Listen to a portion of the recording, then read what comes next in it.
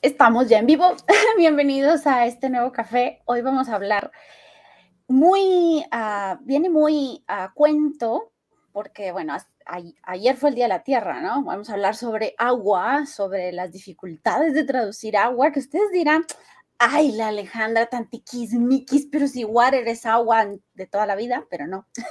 y para eso traje a mi cómplice, a Héctor, que a Héctor antes de presentarlo tengo que confesar cómo fue que nos conocimos y por qué está Héctor aquí y nos va a hablar sobre el agua. Resulta que hace años, no hagan cuentas, hace algunos años nos conocimos en un congreso internacional de traducción que hubo en La Habana y precisamente Héctor hizo una presentación sobre el agua y las dificultades de, todas esas eh, truquillos o digamos trampas que tiene la palabreja esa y yo me quedé boquiabierta porque yo nunca habría pensado, ya a ver, yo estaba empezando mojando los piecitos en el mundo de la traducción.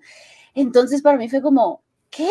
De una sola palabra podemos llegar a, a darnos tantas vueltas la cabeza. Así que bueno, a ver. Ale, perdona, pero te oigo muy entrecortadamente. No oh. sé, hace un rato estábamos hablando y te oía bien, pero ahora mismo te estoy oyendo, se va, va, viene la voz. Oh. Pregunta, mira a ver si los demás te oyen bien, más que nada. Claro, vamos a ver. Ya, veo que hay cuatro personas viéndonos en vivo. Díganme si nos escuchan bien. Bueno, si me escuchan bien. Vamos a escribir algo por aquí. Voy a aparecer a la talía porque les voy a preguntar si me escuchan y me oyen. Eh,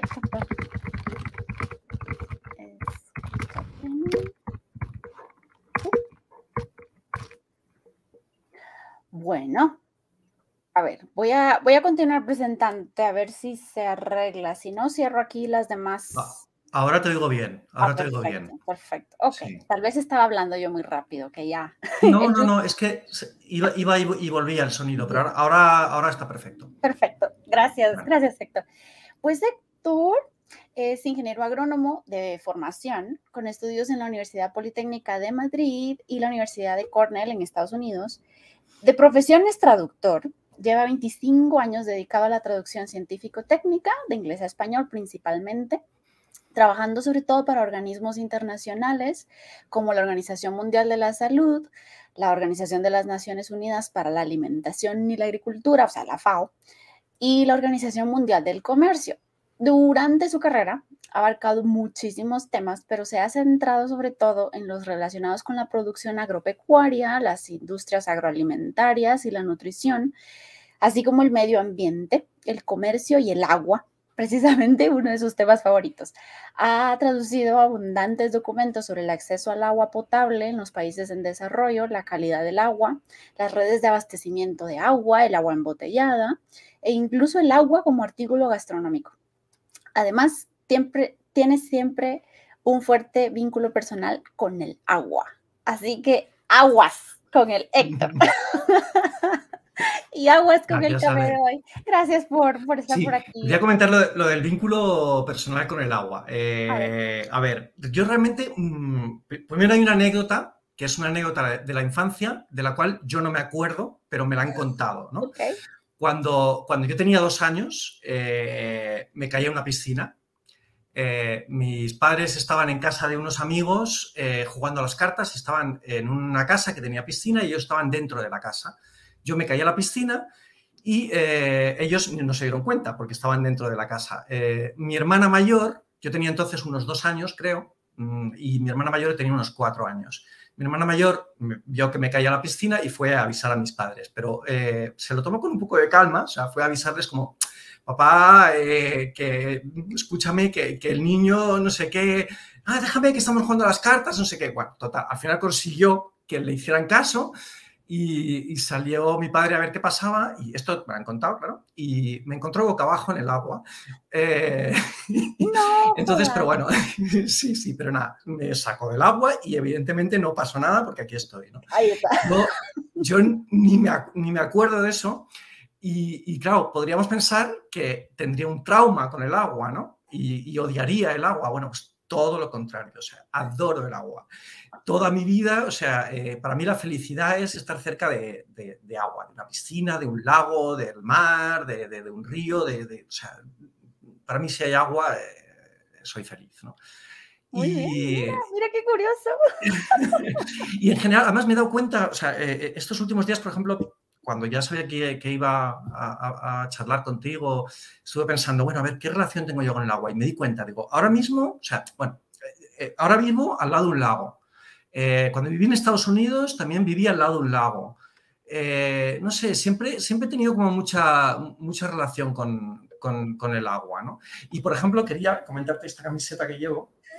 camiseta la compré en el sur de, de Italia el año pasado un viaje que hice, y es de, una, de unas ruinas griegas que hay en el sur de Italia, se llama Pestum, y concretamente el dibujo este es de una tumba que encontraron, en, encontraron como poco después de nacer yo, esta tumba, en eh, eh, bueno, no voy a decir cuándo. en el 83, vaya. Por ahí, un poquito antes, pero bueno.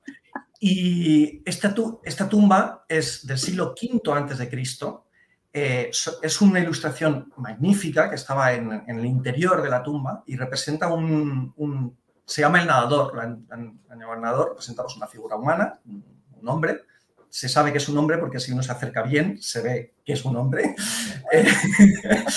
y, eh, tirándose al agua. Eh, bueno, yo cuando vi esta, esta tumba, o sea, primero también tengo mucho, siempre he tenido mucho interés por, la, lo antiguo, ¿no? La arqueología y los, las ruinas me, me fascinan, ¿no?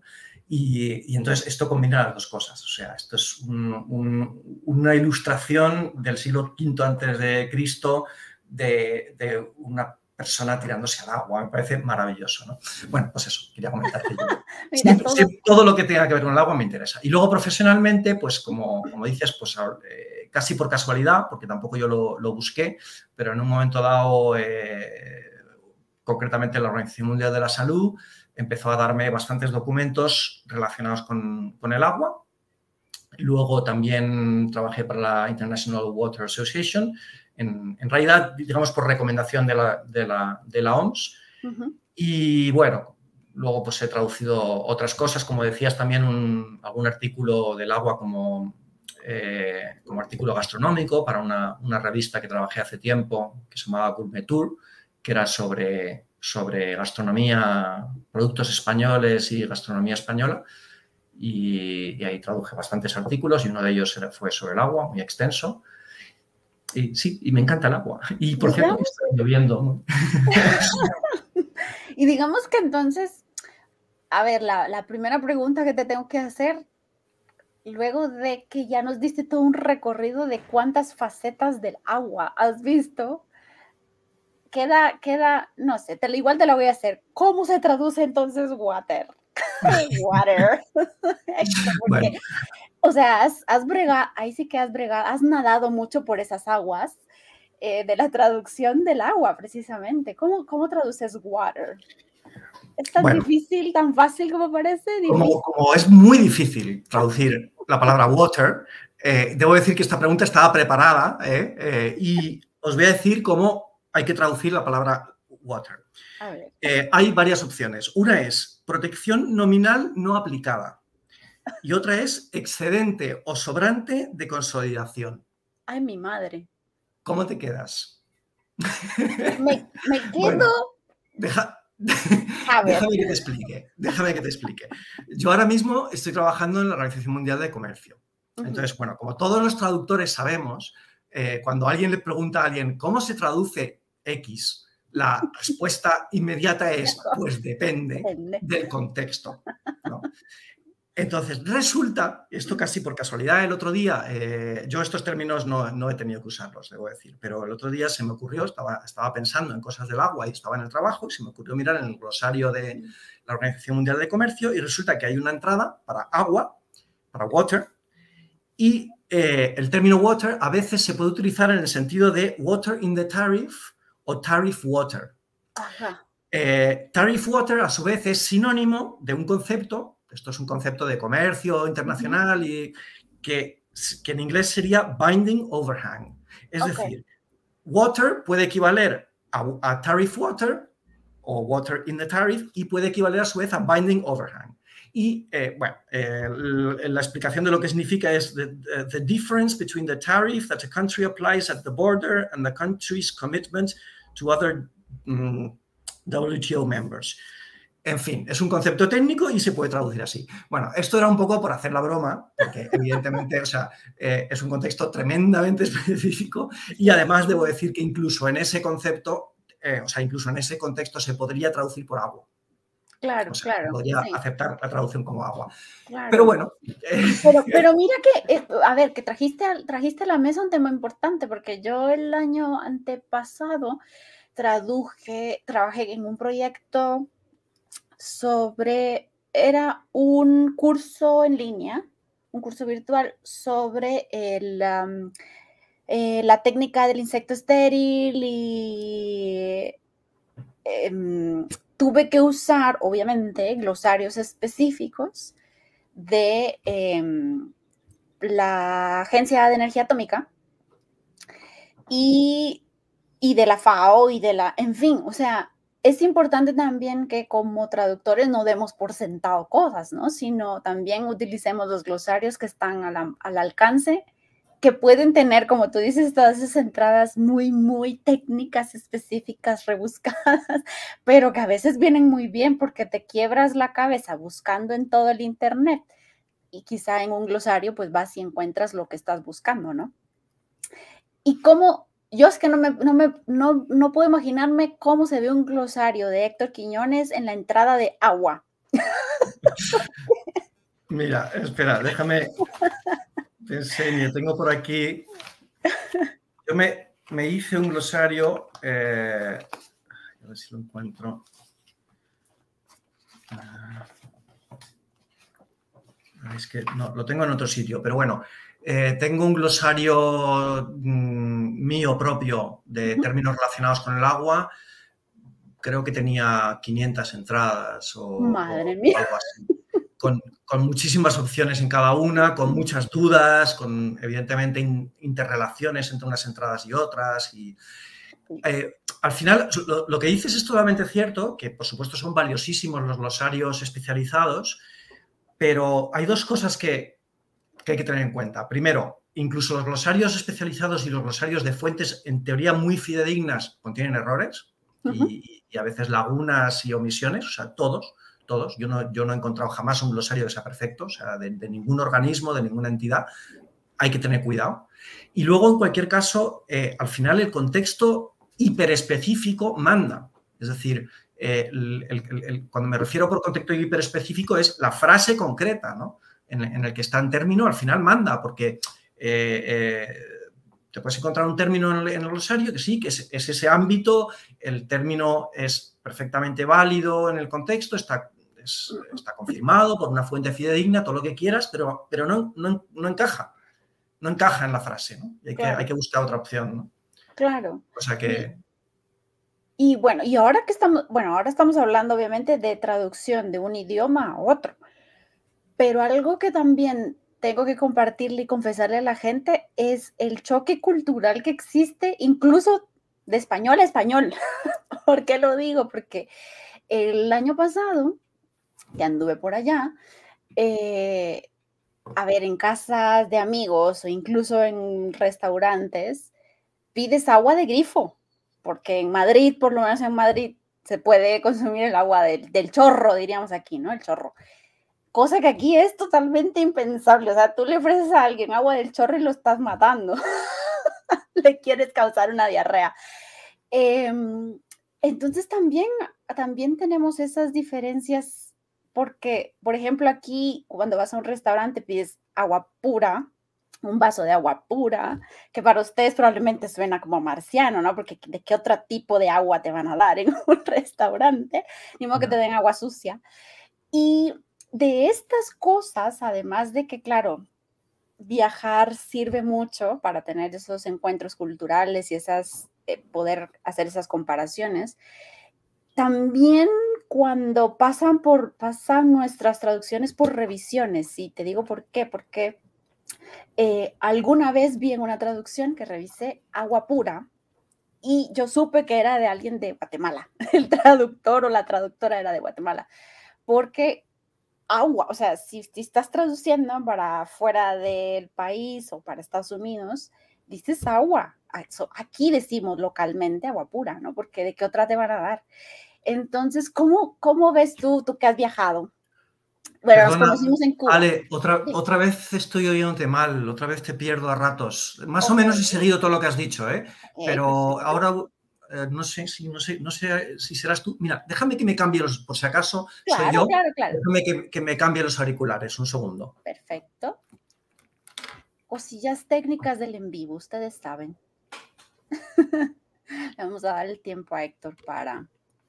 Mientras tanto, eh, nos pueden enviar, porque también estamos celebrando el Día del Libro, nos pueden enviar aquí, nos pueden dejar en el chat sus recomendaciones.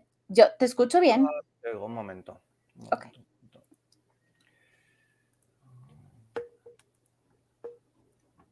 Nos pueden dejar sus recomendaciones de lecturas y de libros para que las veamos al terminar el café.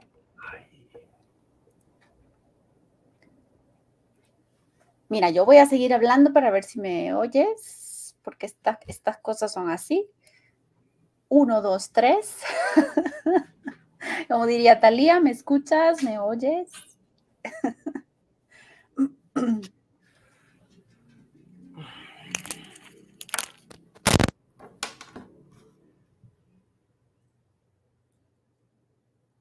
Hola, hola, hola.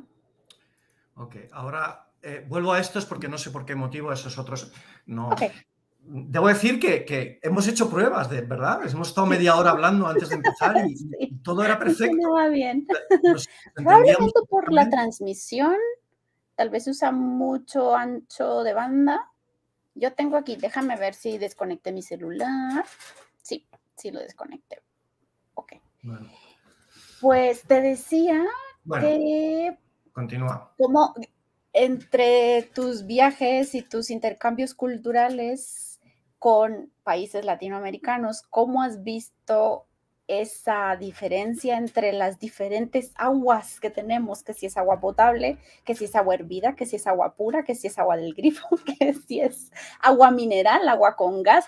esas cosas que también cuando estuve en España aprendí, porque acá el agua mineral es una, pero allá es, creo que es la con gas, en fin, carbonatada tienen ustedes, creo.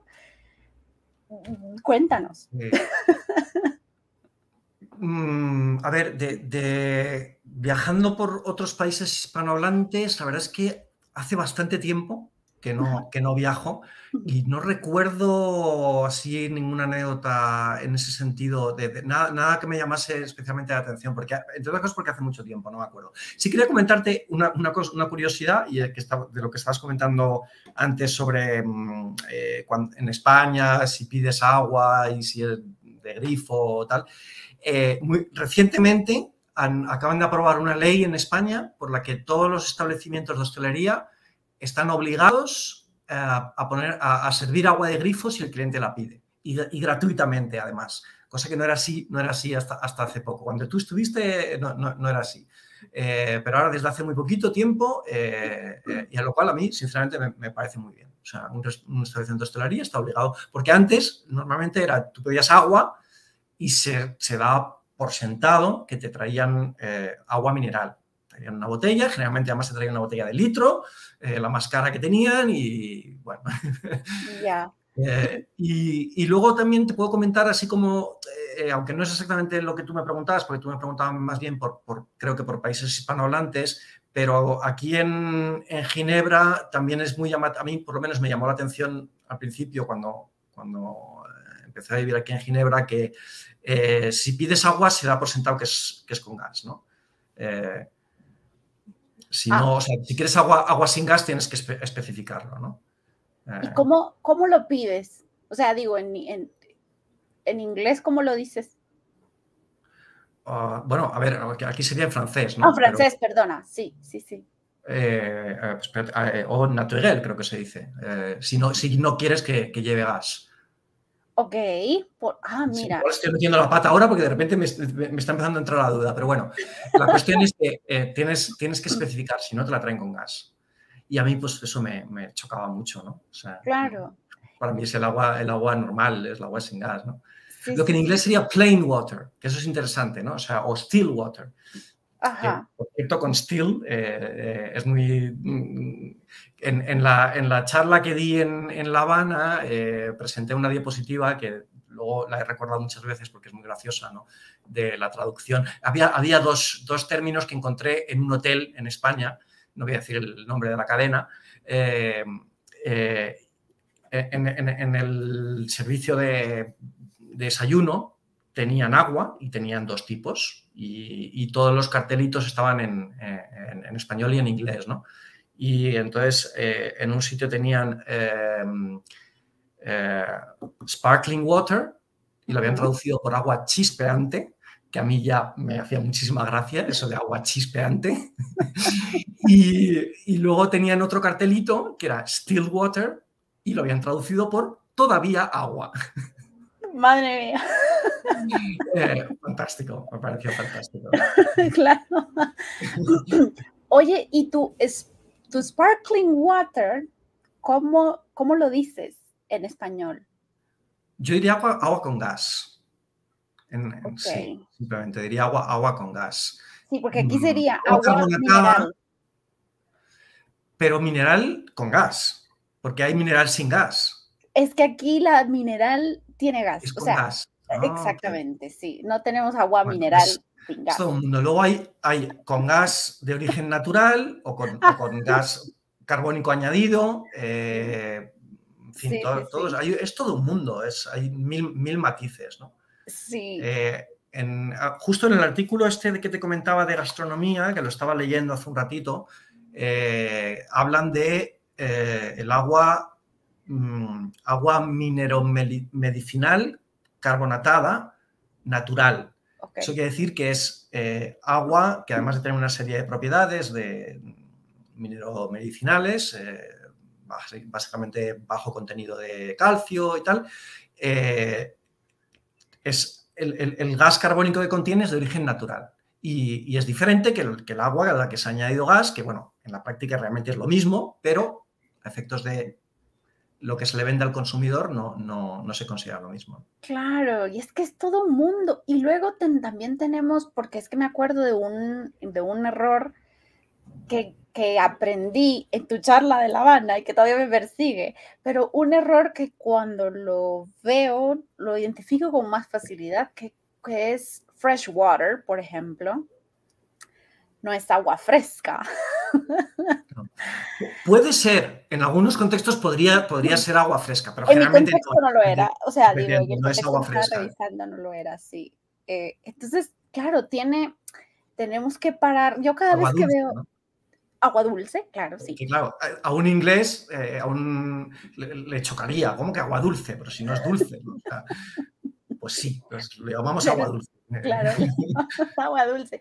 Y eso, eso es lo que yo creo que me parece siempre interesante, porque un, palabras, insisto, palabras tan eh, inocentes como water, y que es un recurso tan importante con el que tenemos relación todos los días, nos puede dar estos dolores de cabeza al, al traducirlos o al localizarlos, digamos, de español de España al español de aquí porque recuerdo también una, unos mensajes que nos enviamos una vez con, con Rosa Yopis, con Rosita, sobre, ella me preguntaba sobre el agua mineral de aquí.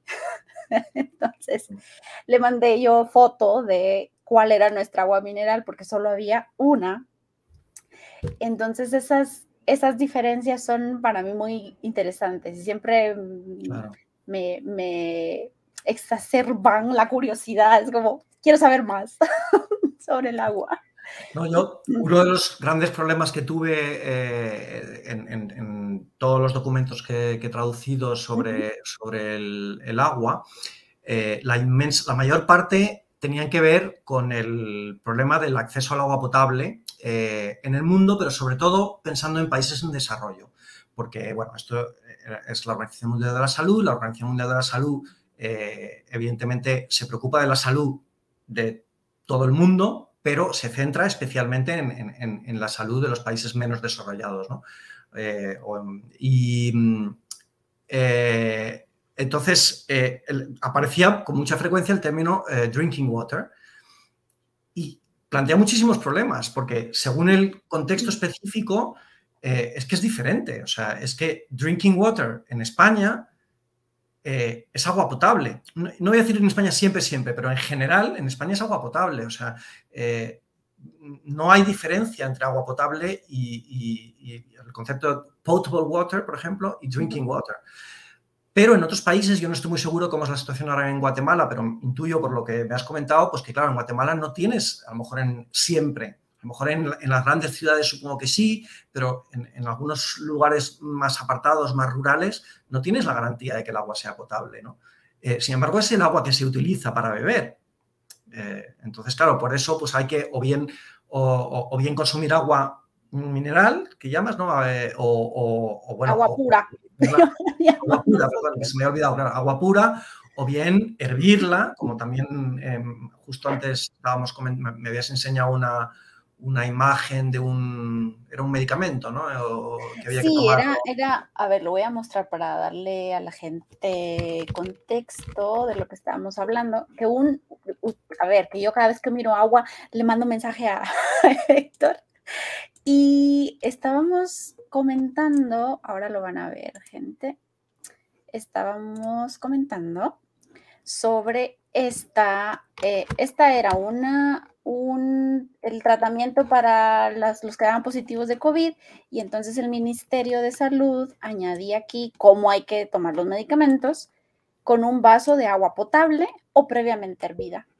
Esa era la, entonces, eso es interesante porque es probablemente esa matización en, España no se haría. No se haría porque basta con decir agua potable y todo el mundo tiene acceso a agua potable. Entonces, no, no es necesario eh, hacer esa indicación.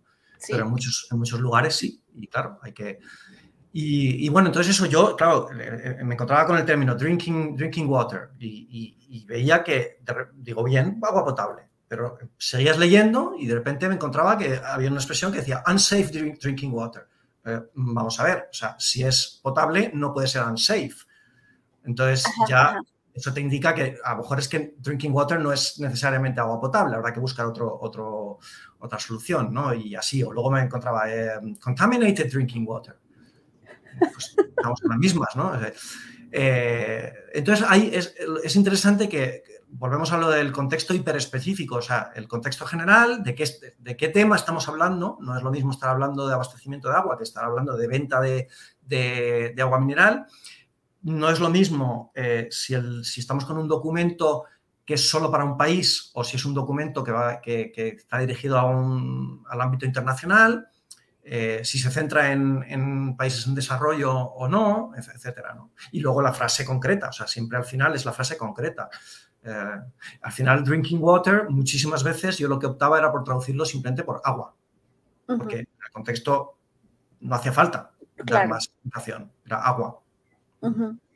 Pues, pues muy interesante. Y lo que me pongo yo a pensar también es que, por ejemplo, si uno va a México y, ves un puesto de aguas, aguas frescas, que son nuestros jugos, que, ah que no sé, sí, que, que son, digamos, la limonada o la naranjada o el fresco de piña o el, en México son aguas frescas, aquí sería un refresco, un jugo, que allá no, que allá con ustedes no sé cómo sería, eh, pero, pero bueno, todo esto viene a que... Si es natural, diríamos más bien zumo, aunque se entiende también jugo, pero diríamos eh, zumo, zumo de manzana, de pera, eh, si es natural.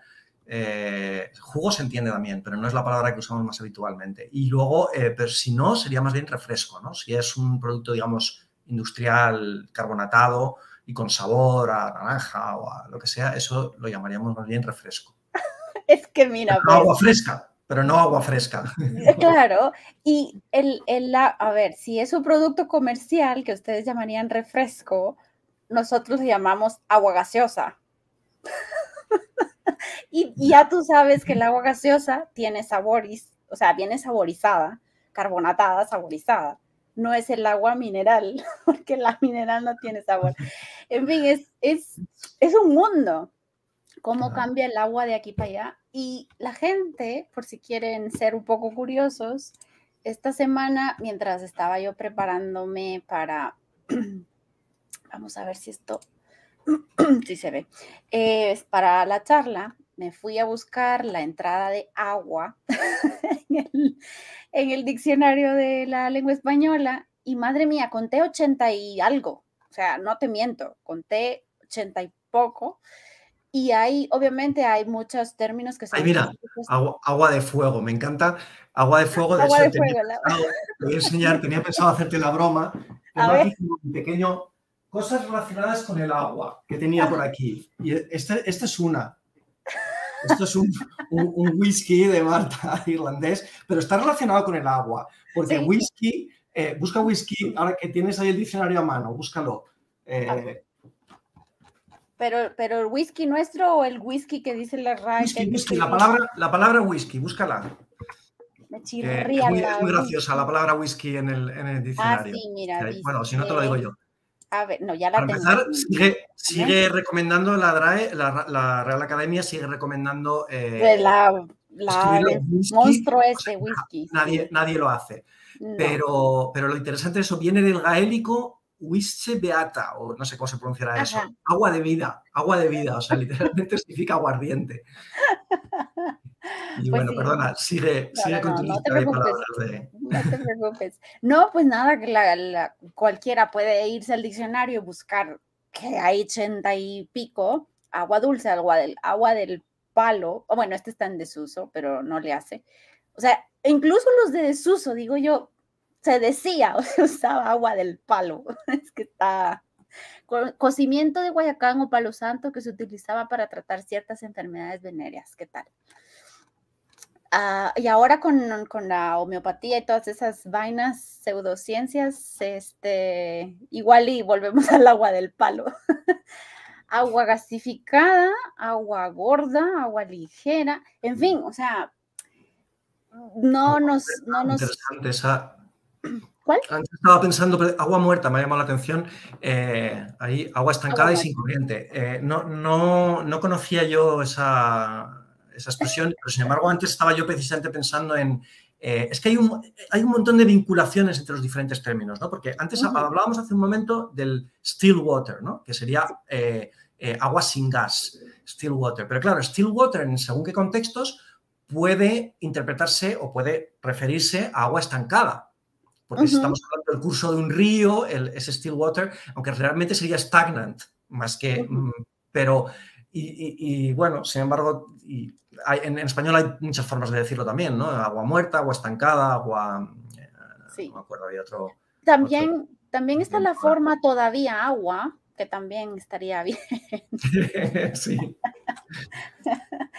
y para quienes tienen cosnautas, se llevarán la sorpresa de que obviamente, y aquí puedo escuchar a Fernando decir, ¿sabían que en, el, libro rojo de cosnautas, pues también están muchas... Es más amplia que, que la del diccionario de la Real Academia. La, entrada de, Fernando de Cosnautas es espectacular. Hay muchísimas, claro. O sea... debo, decir que algunos, unos poquitos de, esas eh, entradas eh, mm, son contribuciones mías eh, y estoy orgullosísimo de ello. No me extraña para nada. Unas poquitas, ¿eh? O sea, la inmensa mayoría son, son por Pero, pero cualquier, cualquier granito, cualquier granito sirve, porque, por ejemplo, estoy leyendo aquí, twice twice distilled water. Madre mía. Agua destilada, ¿no? Sí, entonces yo pienso, Matt, es que hasta el término en español me lo tendrías que explicar porque ya para yo saber la traducción. Em, en fin, que hay. Ah, mira, stagnant water, lo que hablábamos del agua estancada, still water. ¿Y qué pone en stagnant water? ¿Qué opciones pone? Agua estancada, standing or stagnant water, y still mineral water o, still water es agua mineral sin gas. Y ahora aquí en Guatemala, porque, porque ya se ha extendido bastante el uso de un producto que filtra el agua, que es una unidad de barro y otras, otras cosas, ¿no? No solo el barro. Eh, ahora también en los restaurantes te ofrecen, te dicen que es agua filtrada porque se usa ya sea filtro, filtro industrial o este tipo de filtro, ¿no? Entonces me pongo también a pensar que así como va, como dices tú, así como los países en vías de desarrollo, como le llaman por allá, eh, así como tenemos, vamos encontrando formas de tener acceso a agua, así también se van creando o añadiendo esos, esos apellidos a las aguas, ¿no? Porque no, no, no, estaríamos hablando de agua filtrada si no tuviéramos, o en los restaurantes o en las casas, no hubiera la opción de poner un filtro. Hay que tener, de nuevo, siempre muchísimo cuidado con todos estos términos, porque dices agua filtrada. ¿Qué quiere decir eso? O sea, mm, mm, mm, pues que ha pasado por un filtro, pero ese filtro realmente que ha hecho, no, se sabe. ¿es, equivalente a agua potable? Pues puede que sí, pero puede que, puede que no, ¿no? Luego está el término agua tratada también, pues lo mismo, agua tratada. Eh, ¿Ha sido tratada? Sí, eh, es, es, el agua. agua tratada y agua potabilizada, porque ya potabilizada ya sí te indica, no, no, ha, ha tenido un tratamiento suficiente para considerarla potable. ¿no? Pero, Sí, hay muchas, hay muchas eh, variantes, pero el agua tratada es aquella, la, déjame hacer el, déjame hacer el chiste, el agua tratada es aquella a la que le llama señora, su excelencia, su excelencia agua, es agua con tratamiento. y nada, déjame, déjame ver nomás aquí, si es que no tienes algo más debajo de la manga, nada más déjame ver aquí si no tenemos alguna duda por el chat. Por el chat no, estamos bien. Y vamos a ver si es que estoy, estoy viendo a, a la otra pantalla. Aquí, que tengo aquí. Oh. Oh, me dice, me dice Pilar, gracias Pilar, vaya que vine a revisar el Twitter, que el chat en YouTube está deshabilitado. ¿Por qué? Ah, vaya. Eh, a ver, ¿con qué razón? A ver, lo que pasa es que no sé qué pasa si presiono esto. Oh, aquí está. Pública. A ver, me, me voy a ir al YouTube para, para ver qué está pasando. denme un segundito, quienes están en vivo, porque vamos a ver voy a quitar el sonido. Y está deshabilitado, pero no sé por qué. A ver. Editar.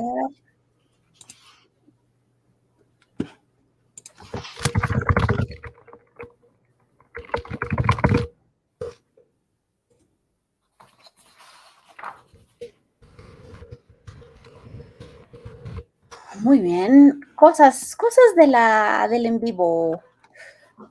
A ver. Está en público. Es la primera vez que me pasa que no tengo el chat disponible. Y no, sí. A ver, sí. Déjenme ver. Permitir etiquetas, no. Qué cosa tan rara. Ubicación, categoría. A ver, esperemos que ahí sí.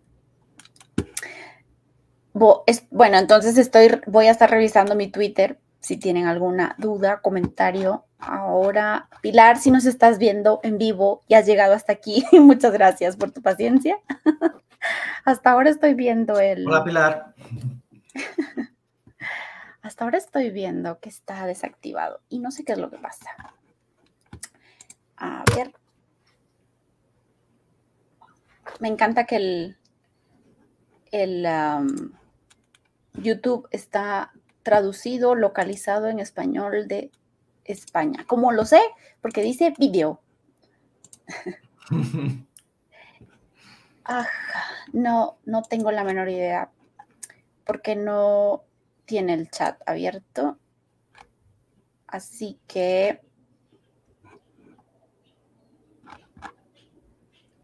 Estoy, estoy. Hola los dos. Gracias, Pilar. Sí, Pilar está aquí en vivo. Pues, Pilar, ¿me puedes mandar? Sí, ahí está. Estás, escribiéndome justo aquí. Te tengo de este lado ahora ya. ¿Qué cosa? Ya les digo, es la primera vez que me pasa. Siempre está activado. No, no fue nada intencional, lo siento. Pueden, pueden escribirnos al Twitter. A mí me tienen como arroba duran 23 y a Héctor lo tienen como H. ¡Ay, madre! A ver, recuérdamelo, Héctor. HQ-bajo NutriWord. NutriWord como palabra en inglés. No world. NutriWord. Sí, ahí está Pilar escribiéndonos. Ay, gracias, gracias Pilar por participar, aunque sea a través de un tercero. Benditas redes que también hacen esto posible. A ver, por ahí llegará. Ahora solo falta que Twitter me... que Twitter me... Ok. ¿Qué más? Estoy... ¡Ay! Roselia también nos está viendo. Gracias, Rose. Roselia es una colega, una colega chapina de pura Puerto Barrios, del oriente, nororiente del país, y, es fantástica, además. Saluditos, Rose. Hola. Pues cualquier cosa me lo pueden. A ver, voy a, incluso voy a ver mi WhatsApp. Igual alguien me escribió por ahí. Tengo un mensaje. Sí, Arturo, gracias, gracias Arturo. Arturo me está diciendo precisamente que el chat, en el chat no aparece nada. Y a ver, dice, dice Héctor, dice Pilar, que Héctor comente el asunto de freshwater, agua dulce o agua continental. La continental yo es la primera vez que lo oigo, que es algo que siempre me crea problemas porque hay aguas continentales que son muy saladas. Ya. No sé, no. Mm, ese problema no lo he tenido yo, entonces no, no te puedo decir así, pero vamos, entiendo a lo que se refiere. Es decir, el concepto agua continental, en principio podríamos entender que se refiere a agua dulce, porque no es agua del mar, pero claro, no es así del todo, porque hay aguas salobres que se, y, que, son de origen continental, ¿no? O sea, de hecho, hay, por ejemplo, hay minas de sal que, proceden de ríos. Eh, que pasan por mm, lugares subterráneos donde captan una gran concentración de sal y, no son agua dulce. Eh, de hecho, en Soria creo que hay un río que se llama el río Salado, y es entre otras cosas por eso, y, hubo una, mina de sal, no sé si sigue activa. No sé si se refiere a eso, Pilar, no estoy, no estoy seguro, pero no, es un tema que, que domine porque no, no he tenido que plantearme ese problema de traducción que yo recuerde. Ahora no te oigo, Ale. No, no, soy yo, soy yo, soy yo, soy yo. Soy ah, ok, ahora sí. Perdón. como iba a escribir, no quería interrumpir. Qué, lástima, qué lástima. O sea, sería estupendo que, Pilar nos, nos dijera eh, su punto de vista, ¿no? mira, dice, dice Pilar, porque nos da más contexto aquí en Twitter. En limnología, espero estarlo leyendo bien, se usa aguas continentales, nunca agua dulce. Aguas continentales son las que no son marinas, incluyen lagunas saladas, Gallo Canta, el Mar Muerto y hasta ahí. ¿Qué es limnología? Ahora, ahora me surge la duda. A ver, ahora me... ¿Tú sabes qué es limnología? Parece quiero meter la pata.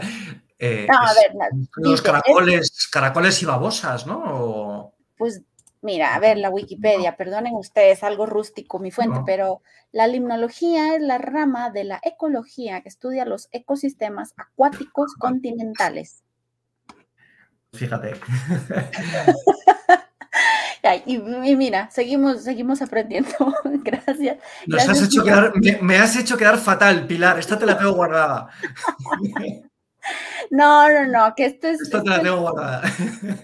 Esto, para eso aprendemos todos. O sea, Héctor, a ver, que yo cuando, cuando invito siempre a alguien al café, nunca pienso que se las tenga que saber todas de todas. Es que es imposible que no lo sepamos. No, es que, todo de todo es que el, agua, el agua toca muchísimos ámbitos diferentes. Fíjate, uno, pues eso, la, biología, la, naturaleza, los, ecosistemas, o sea, y, pues ese no es un campo que yo domine especialmente, algo traducido de, medio ambiente, pero, pero, pero, no mucho, ¿no?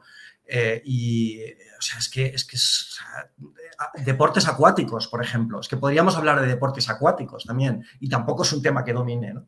Pero, pero sí que, mira, por ejemplo, eh, antes, ah, mira, es muy interesante esto, antes estaba precisamente leyendo, el término safe water. ¿Qué significa safe water? Pues también, de nuevo, en principio, agua potable, agua salubre, agua inocua, caben diferentes, pero excepto que estés hablando de deportes acuáticos, porque a lo mejor es eh, eh, eh, se refiere a, que es una zona mm, de un lago donde es seguro practicar los deportes acuáticos. En ese, contexto habría que buscar otras, otra solución. ¿no? entonces, realmente, o sea, el, agua, bueno, es mm, ocupa las tres partes del planeta, afecta absolutamente a todo, a todos los sectores, a la industria alimentaria, al medio ambiente, al clima, climatología, ese es otro, ¿no? O sea, anda que no hay términos relacionados con el agua en climatología, ¿no? Claro. También problemáticos, sí. y Pilar nos, Pilar nos envía una ampliación, digamos. El mar muerto dice, y es que me encanta porque así aprendo, el mar muerto no es agua marina, pero es hipersalada. Por tanto, es raro hablar de agua dulce y por eso se habla de aguas continentales. Es interesante para traducir textos relacionados con medio ambiente supongo, la limnología. Se podría hablar de agua salobre, ¿no? lo que pasa es que no estoy seguro, agua salobre, a ver que lo estoy mirando ahora. Eh, Mira, dice... Es generalmente que contiene sal o que sabe o huele a sal, dice, dice el diccionario.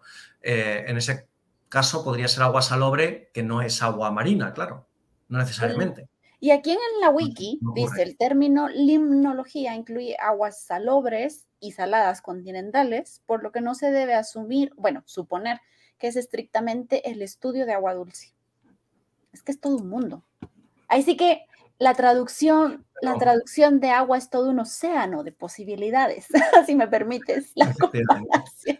A ver, y esto ocurre en todos los ámbitos, o sea, pero, eh, o sea, es decir, cualquier ámbito tiene eh, relaciones con otros ámbitos muy diversos y, siempre, yo por eso, justo al principio te decía el tema de los glosarios, ¿no? que los glosarios son útiles, pero son útiles siempre hasta cierto punto, porque incluso en un ámbito determinado resulta que en un término concreto se sale momentáneamente de ese ámbito y a lo mejor estamos hablando de medio ambiente, pero de repente pasamos a hablar de química y, ya hay que cambiar un poquito de, perspectiva, ¿no?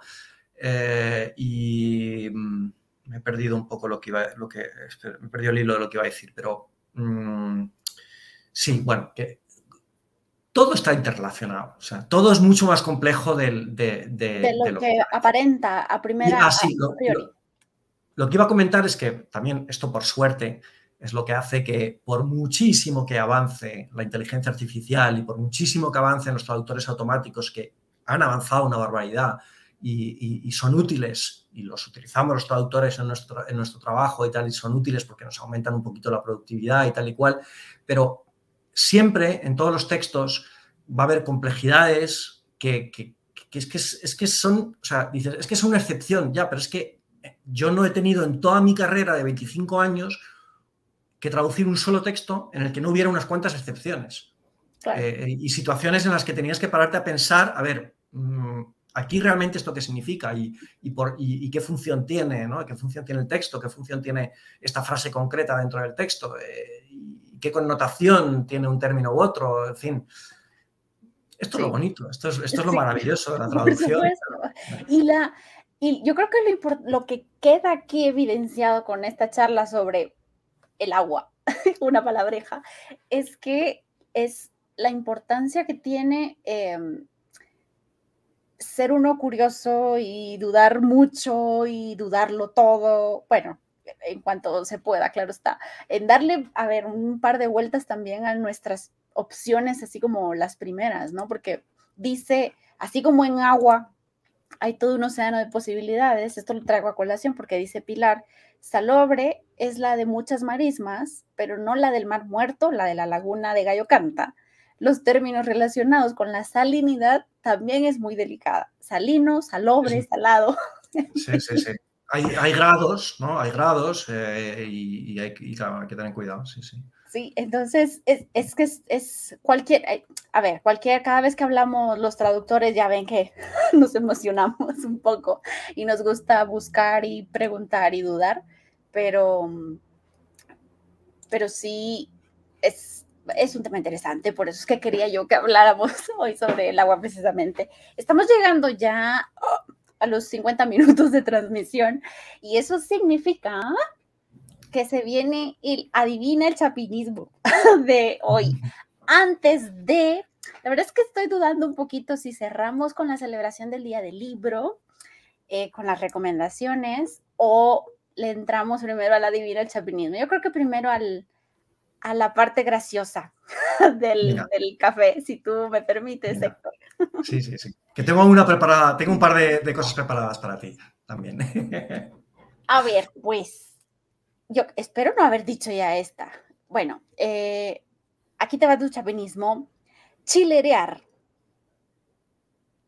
Chilerear. sí.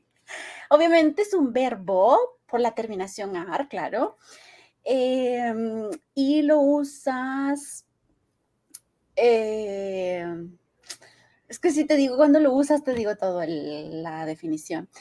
Em, es una frase en la que se puede usar, pero que no me... Eh, ¿Viniste aquí a chilerear tu playera?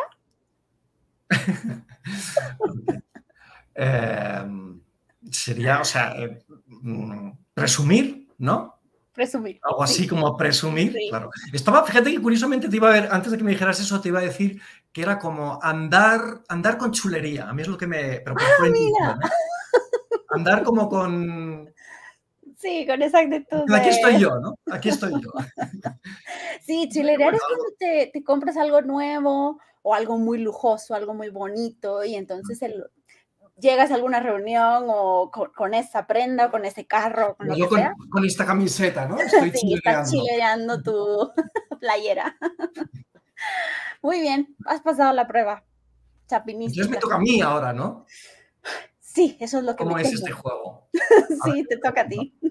Bueno, a ver, eh, más que eh, te, voy a mm, describir una situación en la que en un momento dado alguien dice algo y ocurre una cosa y tú me tienes que explicar qué ha ocurrido y, por tanto, qué, qué, significaba eso que han dicho. ¿no? La situación es la siguiente. Estás en la Gran Vía madrileña. Mucha gente, es un sábado por la tarde, hay muchísima gente por todas partes, hay gente eh, tocando música, músicos callejeros, hay gente vendiendo productos en, la calle, gente entrando y saliendo al cine, mucho ajetreo. Y eh, de repente oyes un grito cerca de ti que alguien dice, agua, agua. Y inmediatamente empiezas a ver un montón de gente corriendo para un lado y para otro. ¿Qué ha pasado? Bueno, podría ser un equivalente a nuestro aguas, porque para nosotros sería plural, si es que es eso. Eh, a ver, como no me dijiste el año, no sé si eso se sigue haciendo, que la gente echa sus orines por las ventanas, ¿no?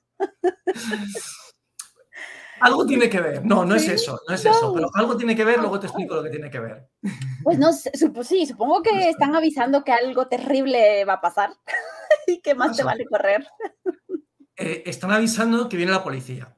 están avisando que viene la policía. Agua, agua es que viene la policía. Entonces, eh, todos los que están haciendo alguna actividad ilegal, eh, sobre todo, por ejemplo, lo que llamamos los manteros, vendiendo, vendiendo productos eh, ilegalmente en la calle, pues en cuanto oyen agua, agua, recogen sus cosas y salen corriendo. Eso es bastante típico en, Madrid.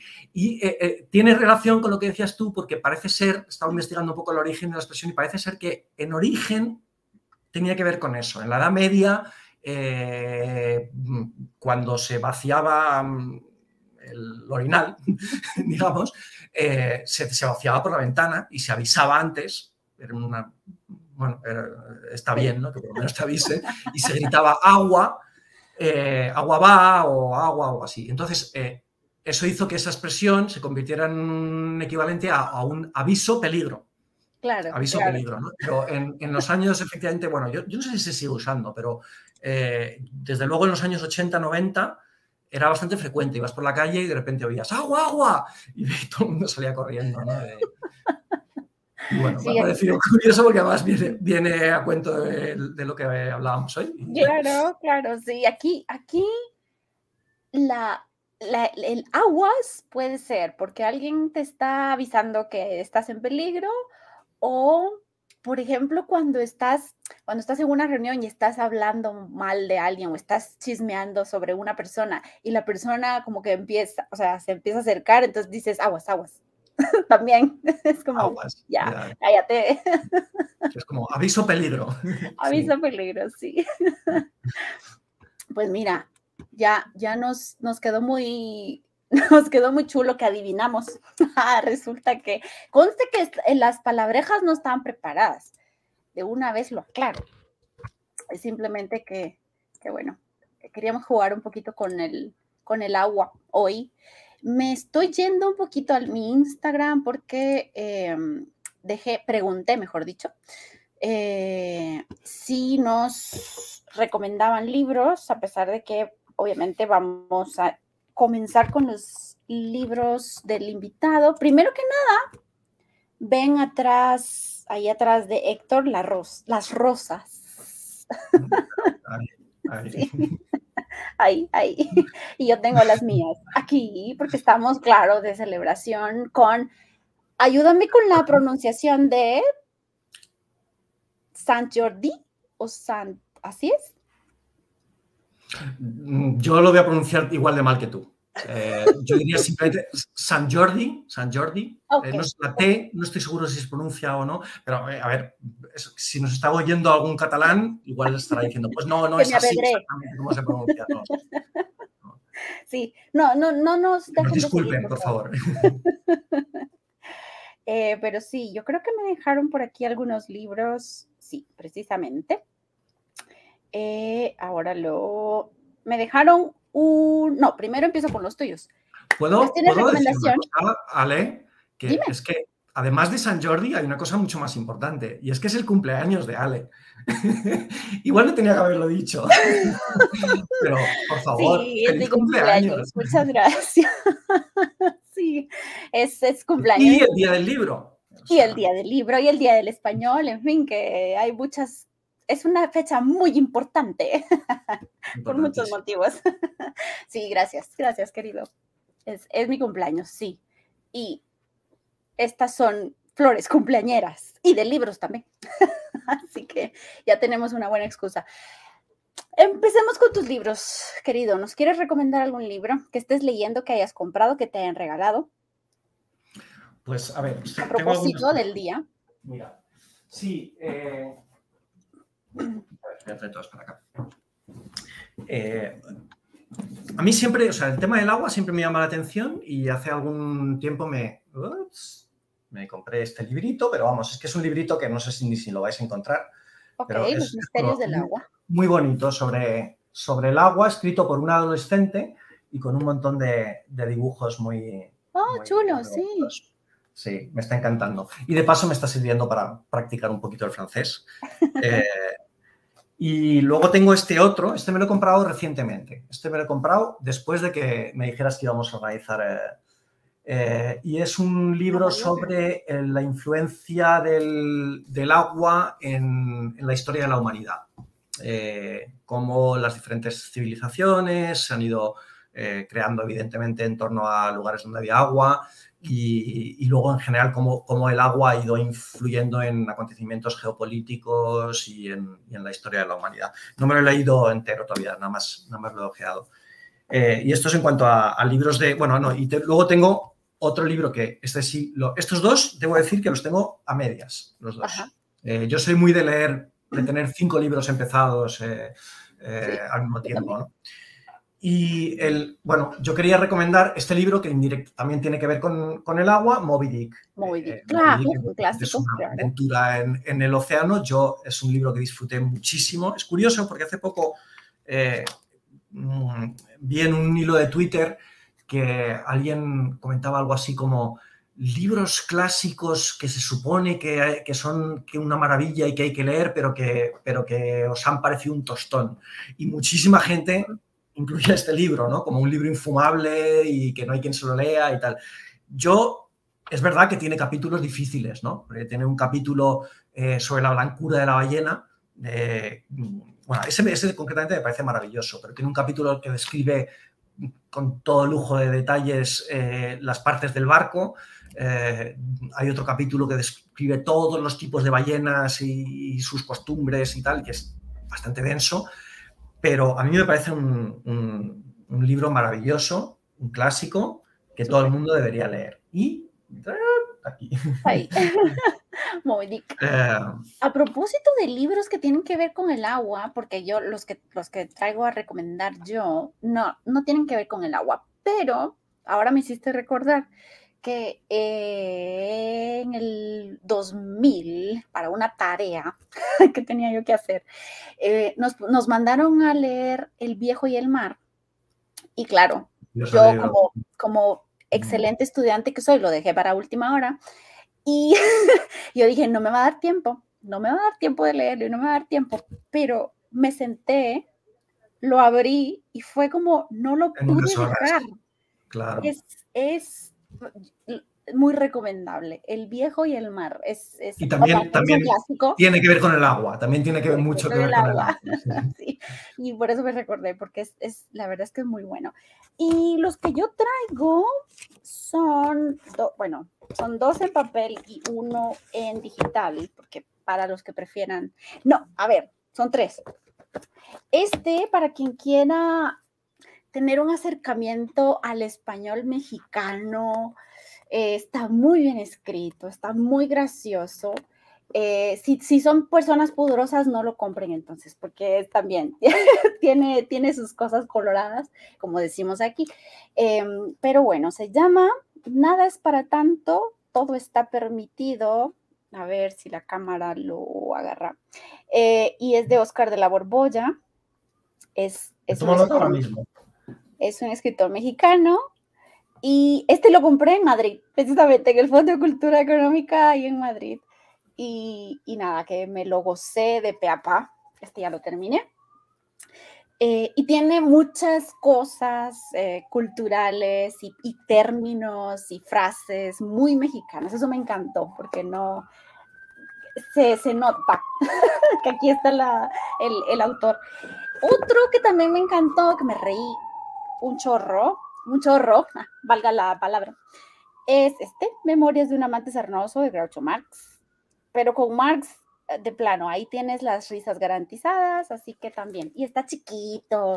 Este lo leí, no sé, en unos cuatro días tal vez, porque me atoraba de la risa. Así que también está este. Y por porque ya Héctor ya les dijo que es mi cumpleaños, me regalaron este libro. Sí. Mi amiga Celia, ay, a quien le mando un gran beso, que por la pobrecita es librera. Lo tienes sin abrir. Lo tengo sin abrir porque estaba esperando mi cumpleaños y este día. Así que vamos a ver, me van a, me van a ver arruinar el papel, lo siento, pero si no, no, no, no salimos hoy de esto. A ver, con lo que me gusta mi abrir regalos. Y más si son libros. Oh. How I broke up with my colon. no sé quienes, quienes sigan a este artista gráfico en, em, en Instagram, eh, The Awkward Yeti, eh, es buenísimo. Y claro, como soy traductora especializada en temas médicos, pues seguro que mi amiga dijo, y yo, a mí me encanta este artista, entonces, ven,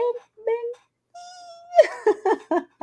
Así que estoy muy contenta con mi regalo y mi libro. Y con esto termino, ya. Dime, dime, no, no, qué gusto da que te regalen libros, ¿verdad? Y te recomienden libros y, estrenar un libro que te apetece muchísimo leer. Eh, es fantástico. Sí, la verdad es que la verdad es que por mucho que uno le, que a uno le entre la culpa de ay, tengo la pila de libros que está creciendo, ya no voy a comprar otro libro, ajá, ajá. Me lo dices en la próxima feria del libro y hablamos. Ahora lo que yo no sé es para mudarte, los, los libros también te la piensas, ¿no? Los libros en, papel, digo. Porque luego tienes que cargar con todos tus libros y les voy a mostrar el que, que recién empecé a leer. Como tú dices, tengo algunos empezados, los que recomendé, pues no, esos ya los terminé, los dos. Tengo este que se llama Pirates in Alaska. Y de, aquí está. A ver, se los voy a mostrar, a ver si puedo. Aquí está. A ver si se ve. Sí, Pirates in Alaska. Pues este cuenta, según leí en, la reseña, este cuenta es un, el autor ha vivido mil años, o sea, más de 30 años en Alaska, cerca de Anchorage.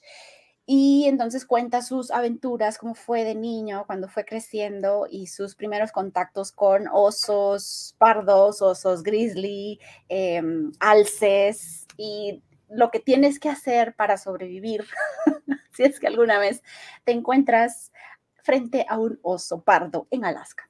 Entonces, nada, que, tengo también una, una conexión personal con Alaska y por eso, por eso lo tengo ahí en pendiente de ver. Y pues nada, gracias por, ah, las recomendaciones del Instagram, a ver, que yo a mí se me va el pájaro. Eh, Lau de Diego, gracias Lau, Lau de Diego nos mandó a recomendar El último catón de Matilde Asensi, el último catón de Matilde Asensi. Y yo tampoco, pero bueno, eh, la recomendación viene del agua, así que hay que leerlo. Y eh, de Caro, Caro Prometeo, gracias Carito, 84, eh, Sharing Crossroad by Helen Hanf. Un canto de optimismo y amistad. Ya solo con eso ya creo que ya me, me atrapa. así que... ese, ese lo, lo, tengo yo en mi lista de libros que tengo que comprar y leer hace muchísimo ah, tiempo y por un motivo por un motivo u otro no lo, no, lo he comprado todavía, pero tengo entendido que es magnífico, sí, sí. O sea, me ha llegado por varias vías la, misma recomendación. Sí, sí, sí. Perfecto. Pues, pues muchas gracias a todos los que participaron y ya sea por Instagram, por WhatsApp o por Twitter, nada más déjame.